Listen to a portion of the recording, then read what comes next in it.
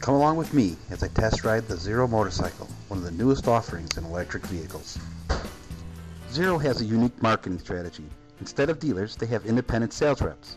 Zero reps purchase their own bikes and set out to create their own market. That's how I found Mike on the internet using the site's locator. He contacted me right away and we set up a meet for a demo ride.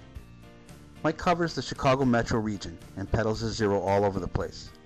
He traveled about 10 miles to meet me at a local restaurant, and when I arrived, he was pulling out the 10 foot extension cord connecting the, the bike to the outlet in front of the building. With lithium batteries, it's no problem just topping them off. The range on this machine is about 60 miles, and the battery was filled in the time it took to eat a little breakfast.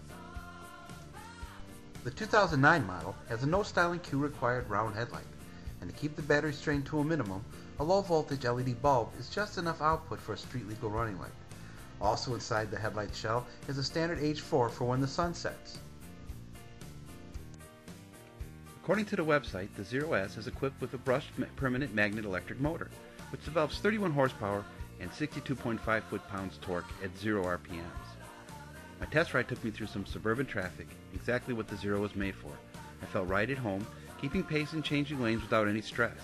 The lack of engine noise did not seem to make me any less noticed by those in their cars all around me The fact that the bike was electric was mostly unnoticed. Powered by a lithium ion array battery, good for 4 kilowatts, this combines to power the bike to 60 miles per hour for a range of about 60 miles. Attractive and sporty, the Zero is a perfect match for city life.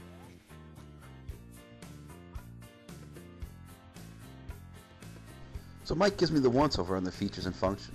Turn the key and the bike boots up, he says. The dash comes to life with all the information one needs for this ride. Missing, of course, is the clutch lever, but other than that, all the other controls are where they are supposed to be. Brights, horn, turn signals are all ready when reached for. I see the red light. Okay. Okay.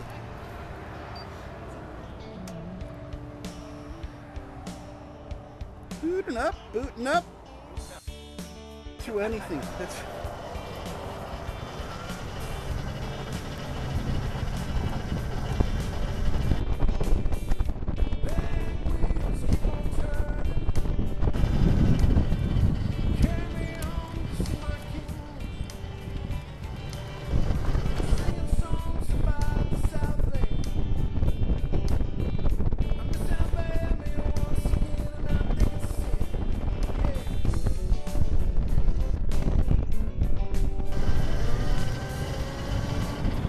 Woohoo!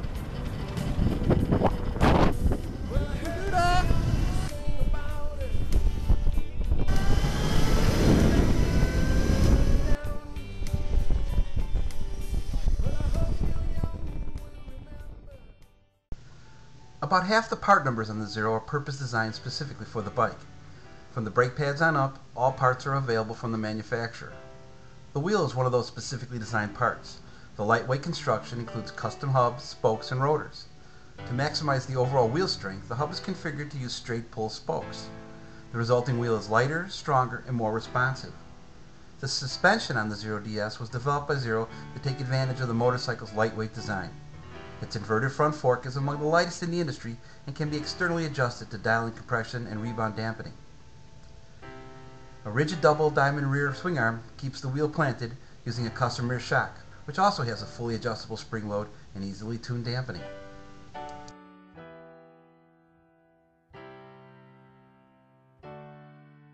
Beyond charging, the maintenance list is short. Normal chain lubrication and adjustment. Replace the typical wearable parts as needed, brake pads, and the tires, which are all standard sized. The Zero Power Pack contains no toxic metals such as cobalt, nickel, lead, or mercury, and are completely recyclable. Because the Zero has passed U.S. safety standards and received the EPA Certificate of Conformity, buyers of a Zero S are eligible for a 10% federal tax credit. Just got back from a quick test ride, and I gotta say, I'm just smiling. This is this was incredible fun. The Zero motorcycle zero maintenance, other than plugging it in and greasing the chain a little bit.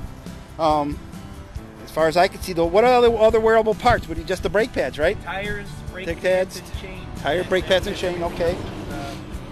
And I could see it as a great commuter. I uh, smooth is the one thing that can describe it. The Zero is proof that fun is not governed by engine size, evidenced by the smile I was wearing all morning long. This stylish machine gets up to speed quickly and provides a confident ride. I felt in control the whole time. In the gravel lot that I made a few turnarounds in, while doing a few grades in the parking lot, or when making a right turn on red into the flow of traffic, the Zero held its own. My thanks go out to Mike, the Zero expert, for allowing us a chance to enjoy a taste of the future. If you're thinking of going green and cutting back on your oil addiction, the Zero is certainly worth looking into.